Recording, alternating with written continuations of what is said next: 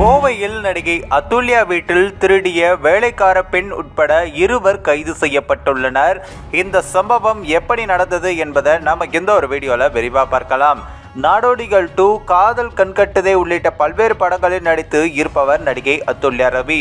இவரது சொந்த ஊர் கோவையாகும். இவர் கோவையில் உள்ள வடவள்ளி மருதம் சாலையில் உள்ள வீட்டில் தனது தாயார் விஜயலட்சுமியுடன் வசித்து வருகிறார். இந்நிலையில் இவரது வீட்டில் கடந்த சில தினங்களுக்கு முன்பு பாஸ்போர்ட் மற்றும் ரூபாய் இரண்டாயிரம் பணத்தை யாரும் திருடி சென்றதாக தெரிய வந்தது இதனையடுத்து தாய் வடவள்ளி காவல் நிலையத்தில் புகார் அளித்தார். புகாரின் பேரில் காவல்துறையினர் வழக்கு பதிவு செய்து திருட்டில் ஈடுபட்டது யார் என்பது குறித்து விசாரணையும் நடத்தி வந்தனர்.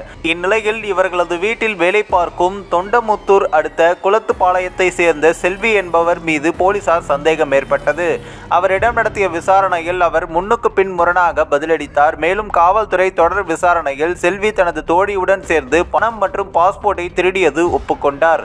இதையடுத்து போலீசார் திருட்டில் ஈடுபட்ட செல்வி மற்றும் அவர்களது தோழியான சுபாஷினி ஆகியோரை கைது செய்தனர். அவர்களிடமிருந்து ரூபாய் ஆயிரத்தி ஐநூறு பறிமுதல் செய்யப்பட்டது.